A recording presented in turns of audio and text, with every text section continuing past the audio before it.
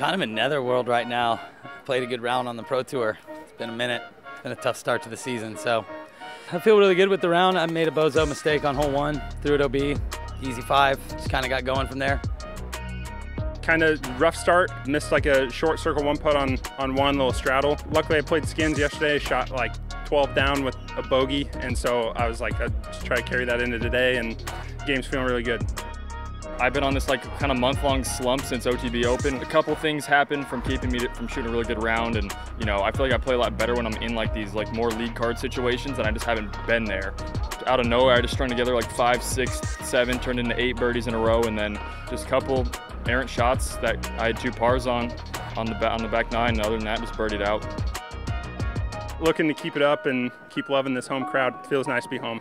We are both, I think, probably a total hour and 10 minutes away from the course. So we grew up right here, and it's just so amazing to see two Iowa boys at top. Obviously, we all play to win, so I think that it'll just be just a little bit of grace on the putting green. I don't think I've played my best golf just yet. Today is a nice sign as a good move in the right direction. I'm just going to try to stay within myself and play the game I know how to play. Try not to get too far ahead of myself. Try to get away from the expectation and just stay in the process of playing.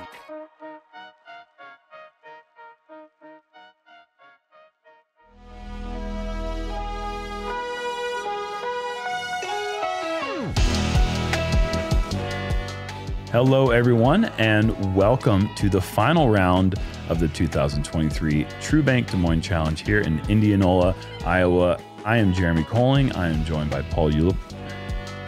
Brian Earhart here in the booth today, filling in for a sick Paul Ulibarri. Thank you for being here.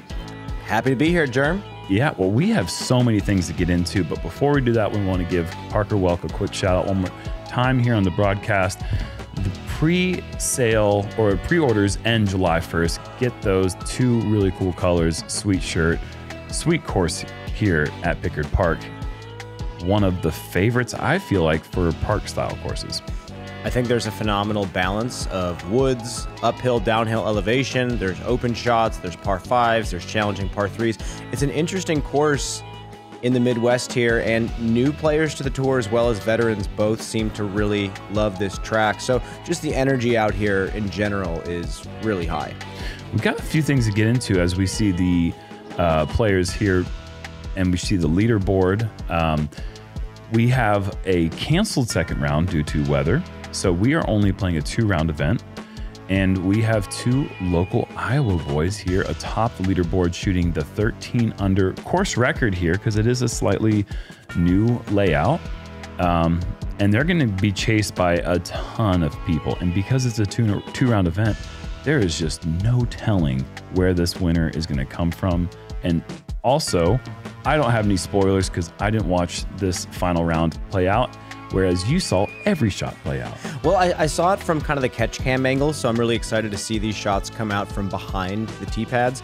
And the one thing I have to note here Gannon Buhr played one of his very first tournaments at Pickard Park. This has so much history for him. Oh, so cool. He played a doubles tournament with his dad here, and now he's playing an Elite Series event in the lead going into the final round, and here we are on hole one.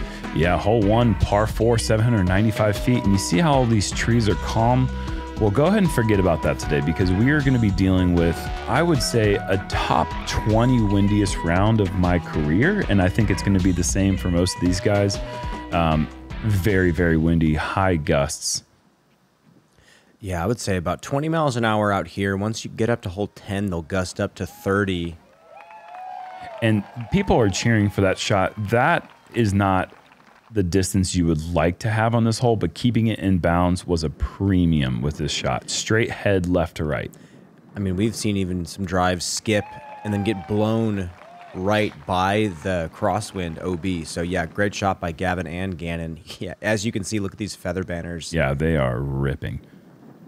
Simon, this is a lot of trust out wide, but it's got the good stability and that is really good distance and accuracy honestly surprised we didn't see more players just try to throw straight up the gut. Honestly, it was a, oh boy, Gregg has lost control. This one, I yeah, that doesn't have a chance of coming back in bounds. It was definitely a play that you were considering, and then you stood there on the tee in the last second. It was like, no, just go hyzer. But you got to make sure that you start with hyzer. Gregg challenging that anhyzer, but no. Oh, that's awful. He doesn't even advance. Yeah, there's a reason this whole averaged to 4.65 on the day. Oh my gosh, Gregg, what a nightmare start. And he started with a bogey round one on this hole and then rattled off 12 birdies to come out with an 11 under. And he's going to be starting off with a really big score. And with that crosswind coming in so steep, a lot of players are not going to want a chance just getting carried OB right. So they're just going to try to throw some sort of power backhand. Good play from Gannon, not taking any chances there. Gannon mentioned earlier in the week that he thinks Gavin has put on over 100 feet of distance to his game this season, which is insanely feet. impressive, to I be mean, honest. uh, he was already crushing. That's that's a big number to add on. Simon is getting aggressive. This is nice. Yeah, that's what you're looking for. Wow. 30 feet, pin high. Don't need to access the bullseye. Beautiful. And Gregg still has work to do to get up and down to save the triple bogey. And it looks like he will be saving the triple. But man, that that's a start that can that's a start and an end. I mean, you've been that high up the leaderboard before. I mean, when you triple bogey, you fall so far. Even the slightest mistake. I mean, I, I was playing really well midway through this round. And took a triple bogey, and it just felt like it just ended all hope. But Gregg's a champion, and he's a world champion. He's multiple time champion on the tour, and I'm sure we're going to see some fight back from him. Long bid for birdie coming up just short for Gannon and Simon.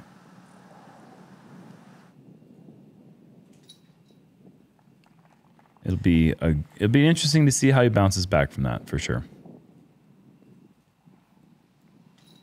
It just felt like the two discs that he was trying to throw in that wind just instantly flipped out of his hand. Yep. And again, like you said, top 20 windy rounds. I mean, this gusting up to 30, 35 miles an hour. So jumping into hole two. Yeah, it's it's management. Just keep the disc in bounds. Let the other players make the mistakes. See a couple players up there. Austin Turner, five under through nine. That is an insane front nine. Wow. Austin's been playing some really great golf lately. Well, and it's interesting because there's holes like number two that are very challenging Very for the tough for lefties. lefty, yeah. And today there was a very strong right to left crosswind uh, that kind of pushed the disc forward down the fairway. So players were having to really challenge this wind, swing it out wide, and get it to push down the fairway. Yeah, right to left off the tee, and then it's pretty much a direct tailwind as you turn the corner and go towards the pin.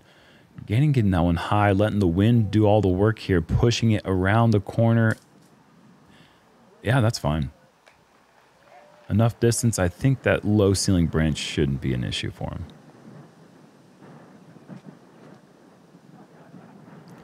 I like how wide this one is. You see that carry? Ah. I thought that was way wider. Yeah, it you know it, you you stand on this tee, you can see that out of bounds on the deep side, and you think I can get that so quickly, and then you just yeah, Simon, the same mistake I saw all day long when players were throwing on this hole. They just didn't trust their disc straight enough, and then at the end let the disc get carried by the wind. I think Gregg's done better with it, but it still looks a little tight in the inside. Yeah, I mean, it, all of them catching that tree. They have another 100 plus feet between the edge of those trees and the out of bounds. Well, maybe like 70 feet. Going mid range here. Look at this lift. Wow. That was tricky. What the heck was that? How is that lifting with a tailwind? It was like a tail right to left on the shot, and yeah, I don't know, just a weird lift. That was so cool. That's a big forehand to go long from the first tree.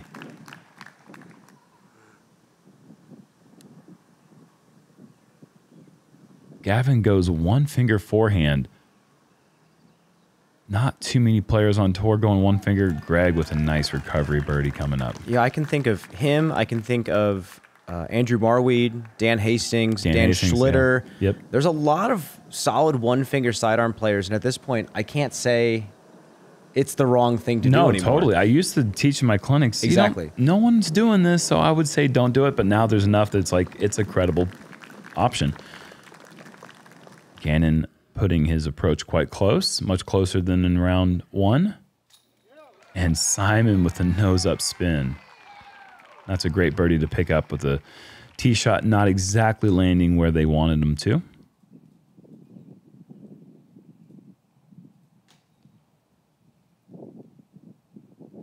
Tough bid. Mm-hmm. Coming back into that headwind, it's tricky. Gavin, I think I heard that he was inside circle one 14 times in round one, and he only missed one of those putts, and that's why he shot 13 under. Didn't even land in C2 one time. On the other pars, they were just approaches, but the the 13 birdies he had were all C1, and he just connected on all of them. It's just one of those days. Yeah, just getting that, getting right off the tee, man. Well, I have to say, Simon Lizotte predicted that round two was not going to happen. So he laid in bed all day and he admitted that he watched 10 hours of YouTube and went to bed. And here he is now on hole number three going into the final round. A smart man. Rest up, my man. It's it, mid-season. We're getting up, we're in the second half of the season now. Bodies are starting to get tired, man. The travel catches up on you, catches up with you at a certain point. And I, I don't. I'm kind of envious of that. That sounds actually like an amazing day. It was a good guess, that's for sure. Now Buhr on three. I love how this hole has been playing this week. yeah, it's it's. Whoa, he's not loving how that's playing. The ground play, given uh, Gannon. Sorry, the Gannon Gavin thing is going to be throwing me off today. I'm sure of it. But the yeah, the big skip there that was tough. Yeah. Simon, if this gets grass first, it's great. There you go. The wood chips, big skip. The grass is very thick, so perfect. And remember the wind here coming out of the tunnel, it's still blowing left to right, so carrying those skips even farther. So mm-hmm. luckily he hit that long grass. Beautiful shot. I wonder if he knew that was perfect out of his hand, or if that's just like, please get down. You're kind of crossing your fingers and hoping. And a much straighter fairway driver out of Gregg's hand. He probably wanted just a tad more hyzer. But I agree. I, I like the the amount that they cut down on this mm-hmm. hole to make it fair. That's danger. Oh, okay. Did that just chain out? That just chained out and slid directly out of bounds. That's going to be a, a putt for par, I believe. And that isn't even wet and it's out of bounds. Talk about all time bad break. Well, first off, that leaf just cost him the ace. I mean, it, it came in He hit a heat. leaf. It slowed it down enough to not go into chains, and then it slides OB with not even going in the water. That is a get wrecked moment. Good God. And now he has this putt. Okay, at least you connect on that one. If that spits out, I'm just like, I'm out of here, man. That would have just been awful. Good composure. Well done for both the Iowa boys.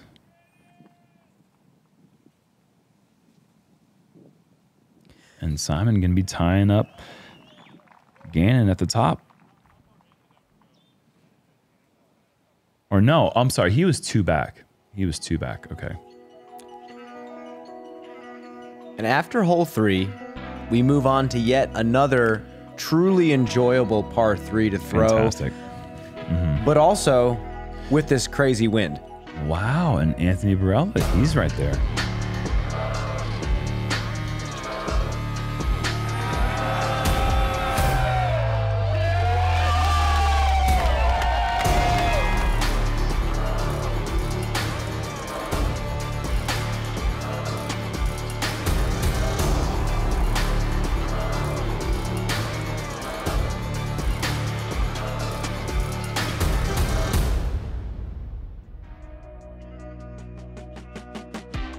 Definitely something that I'm excited to be a part of next week. The distance contest they're having out in Minnesota at the Preserve.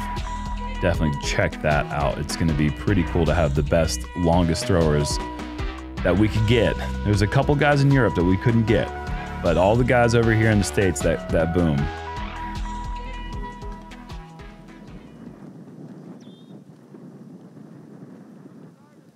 Big tailwind here. Simon swinging it. Oh, just stopping. And how is this wind playing for you off the tee? I mean, it feels like it was just distance wind. It was just it was straight tail when when, uh, when we came through, just a couple hours before these guys. If anything, tail right to left, and I mean, the kind of wind that can make a disc do that kind of stuff. That is way long, OB. Yeah. Wow. When you when you're in the warm up field, as Gregg has thrown a decent line, it's low enough. I think, yes, okay, he, he's on the short side.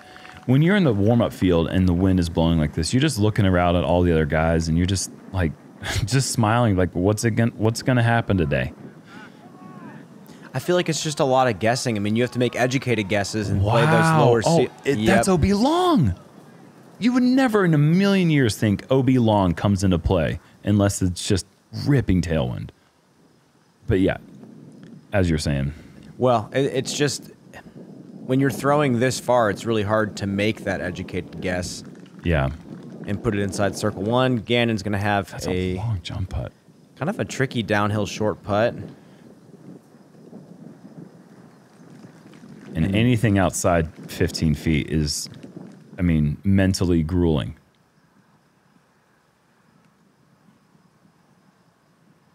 Gregg, great run.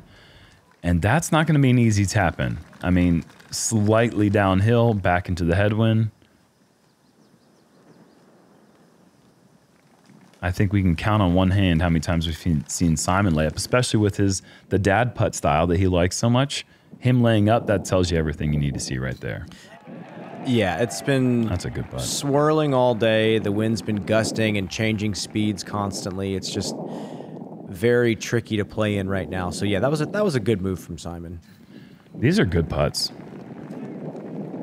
I, I'm interested to see this short guy that that uh, Gannon has to putt. I feel like it's a little trickier than meets the eye. Oh, he ends up going right side. Solid delivery. Big applause. Great crowd here, and they're approaching pretty special place here on tour. The Hive, sponsored by Geico and Hy-Vee grocery stores. The the the Geico Gecko was out there in full Full attire. It's just amazing. The atmosphere was was unreal, unmatched, really, in in many ways. They were so excited to be out there, and every single player got their own individual applause as they stepped up to the tee pad. And I love an ace run hole. Totally. Absolutely Yeah. love it. Sure. Hole five, 330 feet. It's an island. A lot of players going hyzer, right to left, ripping crosswind. Simon going high. This needs to be really overstable, and I think it is. Oh, but it's too overstable. Yeah, he was shocked that it did not get the carry. I am too. Got to start this with hyzer. Oh, he goes flat. Look at that. Gregg mentioned Wow. Great that trust. he aimed five feet right of the basket to throw that line. Oh, my goodness. and he was absolutely trying to dunk it. Sure. This is a hole where playing for the spike hyzer ace is a great way to park it.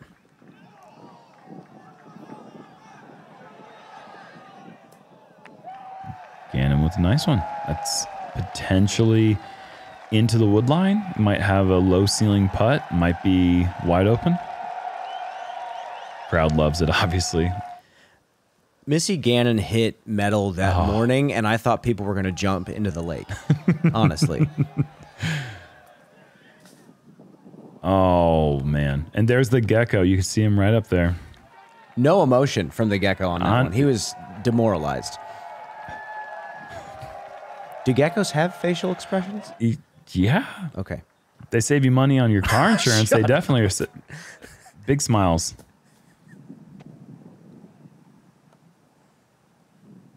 Fifteen minute call.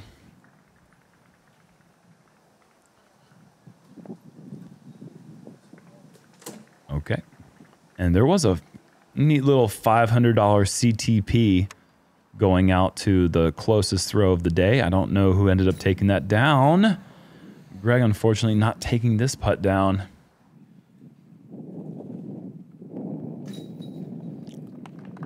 So Gannon must be pretty close. Yeah, okay. So he's he's right there on the edge. And that's a big time bounce back birdie. We are just going to be checking that leaderboard all day long. It's just so many people so close. I believe two strokes back was all the way down on the third card. And when the wind is picked up like this, it's like fourth and fifth card are licking their chops because their opportunities to jump up if they have a good round are incredible. Well, what's interesting is Gannon, uh, the day before I talked to him, he said, I want to play this day very conservatively because of the wind. I want to make other players make mistakes. And we'll see if that strategy holds up here Yep. going into number six. Yeah. Slight turn to the right off the tee. The fairway on the left side, OB, gets closer and closer the farther down your disc travels. So you want to make sure you're keeping your disc turned. Forehand is a common play here. We are going to have that tailwind coming off the water behind the players. This is heading to the right side of the fairway. But it's in the middle. mm, That's fine.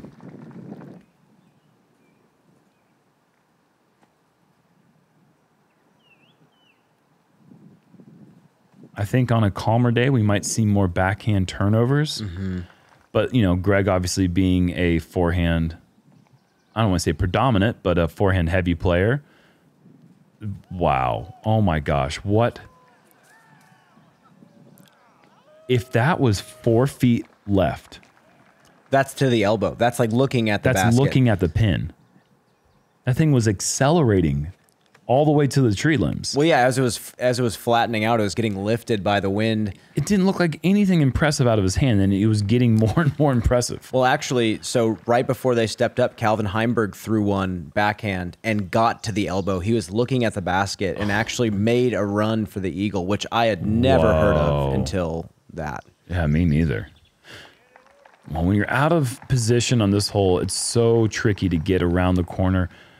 Gannon needed to get that one higher for the late stall, as you're seeing Gregg do here. This has a chance to get parked.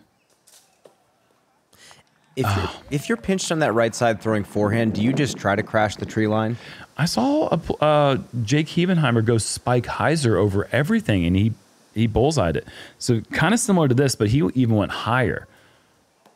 And there you go. There's a lot of room up high that I have never really looked at before. But I think when you're out of position, you have to get tricky. And, and Simon is going flick cut roller.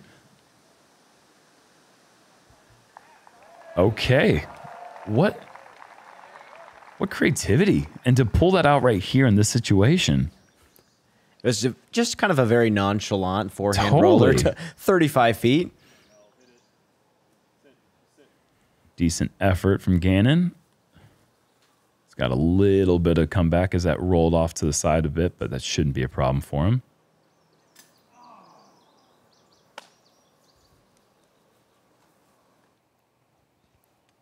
Forehand cut roller birdie. That would have been a that would have been a good one. Mm. and you can see it with that triple bogey start. Even with the birdie he's all the way down in 17th place right now so hard to bounce back from triple bogeys it's just you do not have that uh, that opportunity to get away with those anymore. I mean, really, for the last three years, you got triple bogey. It's night night. Yeah, I mean, Gannon round one got the bogey on one, but then he went 14 for 16. Yeah, That's fine. Yeah, that's okay. That's a way to bounce back. it's all right. Good birdie there from Bobby. Ezra Robinson. The brothers, the Isaac, the, the Robinson brothers. Look at that.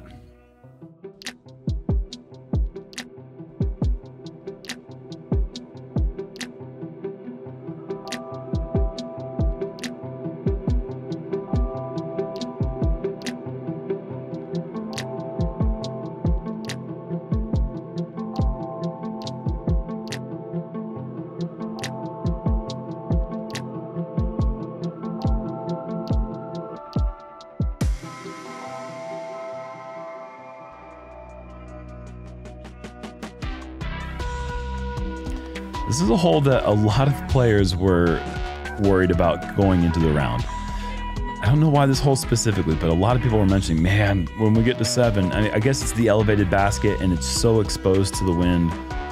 Huge light, uh, left to right wind coming up here, uphill. A hole that is on the easier side in the calm and not that way at all in the wind. Unless you've just throwing casual forehand flicks. Great shot from Gavin. Yeah, Gannon says this feels like it plays about 390, and he's going forehand. I was worried about this one going too far right, but it puts the brakes 26 feet.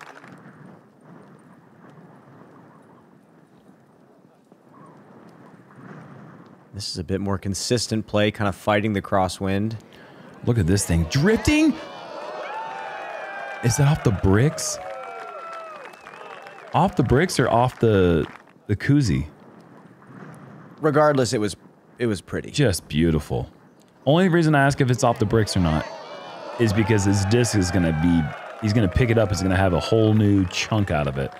I don't like the bricks. They're so it's like Renaissance castle material. I'll go get the uh, the They cotton balls for They, you. they should just be made out of wood. And Simon's throwing an ace run. What is going on right now? I guess the whole soft germ. It's not. Not the bricks. The bricks are the hardest thing on the course. Like, do not want your disc connecting on that stuff. Easy putt to miss low.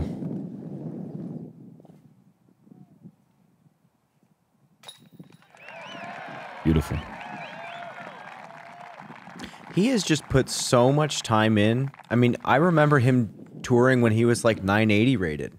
And I had seen him in tournaments. I didn't really think much of him as a competitor. And he's still here. Reminds me of like a Luke Samson type character. Has just cut his teeth on the road and just Yeah. grinded his way to these positions. Oh, he's he's an athlete. He was a very good wrestler. Super athlete. Yeah. and uh, yeah, took his skills into disc golf and is just taking that same work ethic that he had when he was a wrestler and put it into his new craft. And it's great to see him doing well, especially in his home state. Talk about Ezra, also five under through nine, currently with a two shot lead over three others. This is a hole that I got to empty my bag on every single time I step up to the tee pad. What are your thoughts on number eight? Oh, it's just a fun. I mean, 580 that's reachable from the guys who only have 450 um, downhill the whole way. But you can get creative with the stability. You can go with the wide hyzer. You can go with the flip up backhand fairway. Um, some guys in my car were getting cocky with mid ranges. Is that what this is? That was clean. And Bad skip, but that was clean. That was a beautiful shot. It's just always nice to see a disc travel 600 feet with really nothing in the way. He really likes throwing those stand ups that get to flat really late. Gregg's also angle master with the backhand. This one's going to be drifting left and needs to slow down because there is actually out of bounds deep in those woods. And he has found safety. Just like we were the night before when there were tornadoes in the area.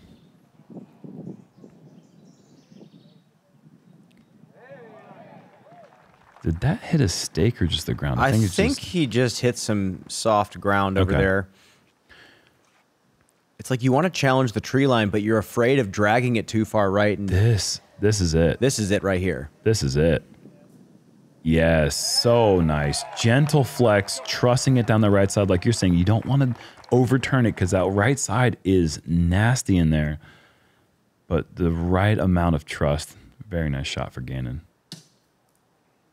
Yeah, and he's putting his hands up to put the brakes on that. He knows if he doesn't hit the base there, that has a good chance of rolling down the hill, leaving him a 25 foot comebacker for the par.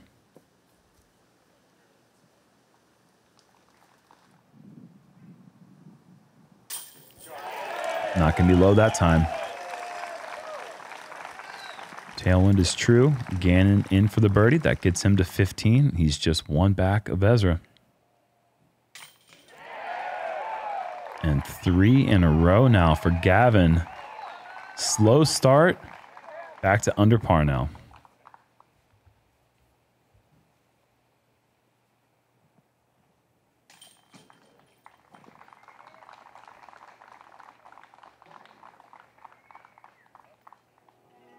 It showed birdie.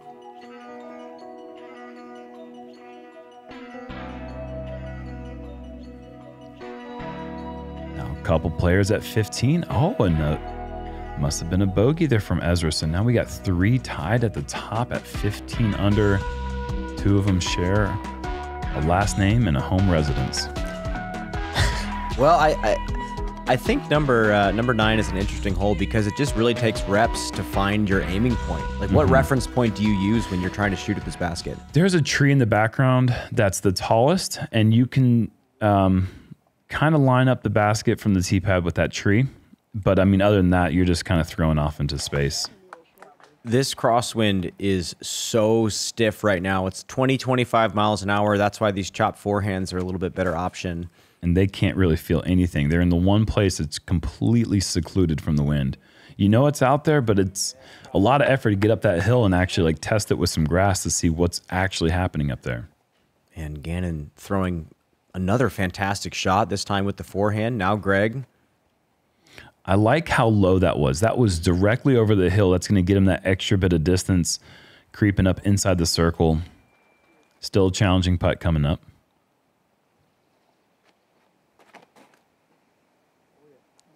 Going straight mid. And that one hits enough edge to stay inbounds. But that was testing that right side OB.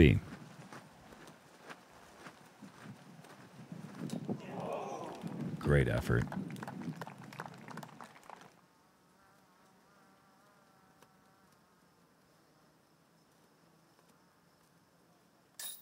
Simon.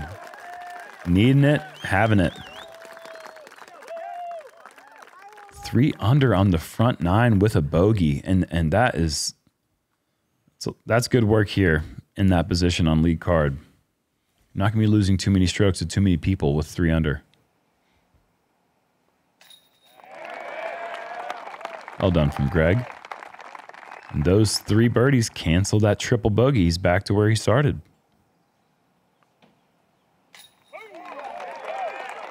Yeah, it felt like in the beginning you you saw just the deflation for a few holes. It was like almost like a, a hangover from the triple bogey, and now he's Totally. finally sinking into the crowd. You can see him kind of interacting with them.